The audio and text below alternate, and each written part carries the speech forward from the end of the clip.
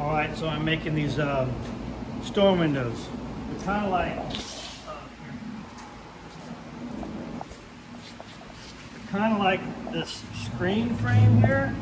Um, this is a really simple screen frame. You can see it's got the tenon going through it. This is a mortise and tenon joinery screen frame, okay? Uh, storms are a little bit different. I mean, they have a, a little rabbeted shelf here the glass will sit in. I mean, I'm not gonna show you how to make that, but what I'm gonna show you is, okay, the process of getting this bar centered, all right? This bar centered between there and there so that it's centered, okay? Um, I gotta lay it out so that it's in the right spot, okay? I got a couple of pieces on the bench right here, okay?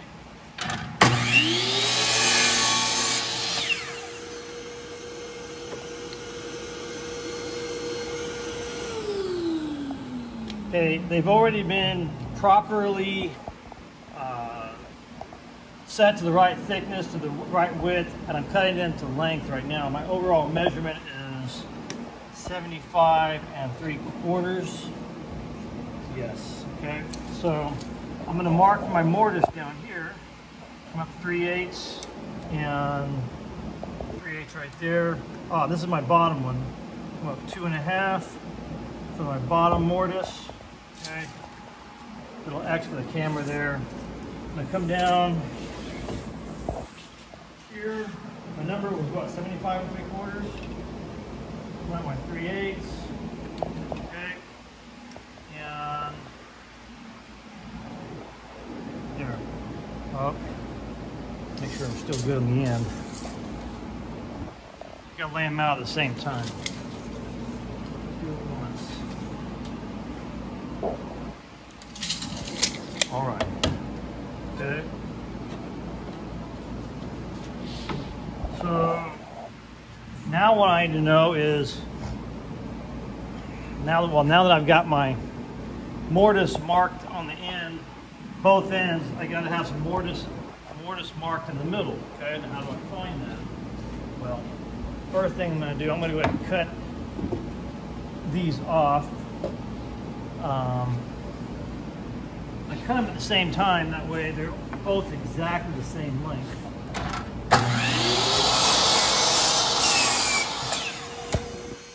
Ah. Okay, so you following me? Make sure you're following me because I'm going fast, all right? Um, what I need to know is, look, down here, my mortise goes where my X is, okay? From here, you know, from, from there to there. This is two and a half inches, okay? okay. 2.5 for those who like decimals. We're gonna use that in a second. Okay, is that right? Yes, 2.5. This one up here, okay?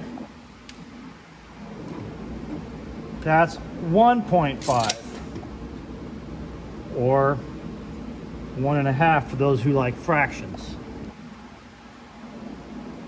All right, so what I need to do is center my mortise in here. Now my mortise is gonna be one inch, okay? So here's what I do. See if you get the calculator in here, okay? Boom. With my number, my overall length is my 70 is 75 and three quarters. 75.75. Okay. I'm gonna subtract out my other mortises. On my one end, it's 1.5. There's my number.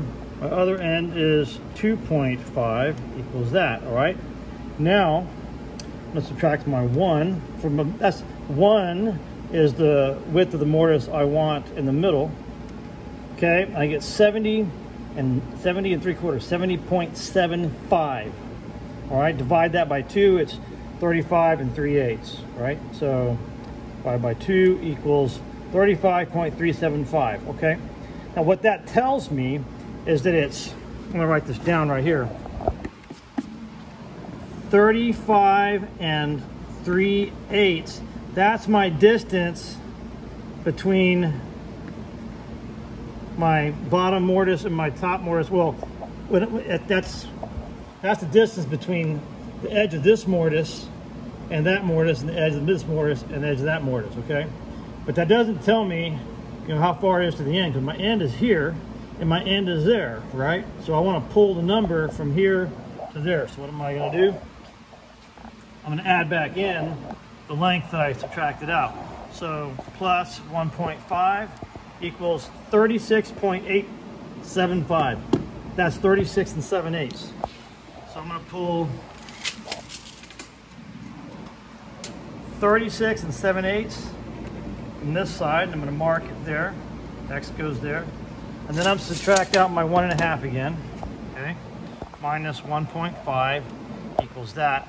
Now I'm going to add in the other side. That's 2.5 plus 2.5 equals 37.875, which is 37 7 eighths. I'm to write that down. 37 and 7 eighths. This one was 36 and 7 eighths. Okay. Pull it from here. If I did my math right, should have an inch. It's 37 and 7 eighths. Okay. There it is. That looks like an inch, right? Boom. One inch right in the middle. Okay, see that? Okay, and let's see, I'm gonna measure from up here. What did I get? Up oh, 35 and 3 eighths and 35 and 3 eighths. That mortise is centered, not necessarily in the frame, but in the glass opening. Ah, that's important. All right, that's how you do it with a calculator, which is Italian or Latin probably for calculator, calculator. So anyway, hope you like that. If it's not helpful, then I'm sorry. I don't know what else to do. Bye.